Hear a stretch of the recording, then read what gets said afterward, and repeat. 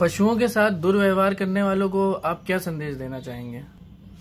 पशुओं को की पहले व्याख्या होनी चाहिए। जैसे हमारे महापुरुषों ने कहा कि भिखारी, पागल और पशु मतलब जो बेजुबान, जो बुद्धिहीन है, उनकी एक श्रेणी आ जाती है।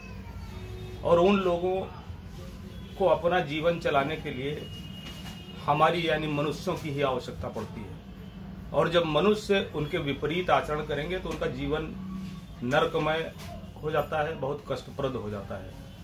मनुष्यों से के लिए यही संदेश है कि वो लोग जो बेजुबान हैं, उनकी भावनाओं को समझें। हमारे धर्म ने भी कहा है कि प्रत्येक आत्मा में परमात्मा का वास होता है।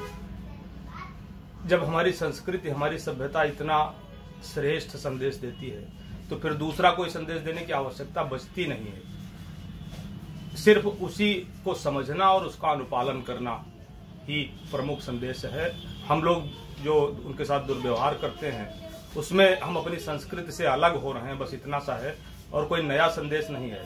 संदेश यही है कि प्रत्येक आत्मा में परमात्मा का वास है और हम सबको उस बात को समझना है।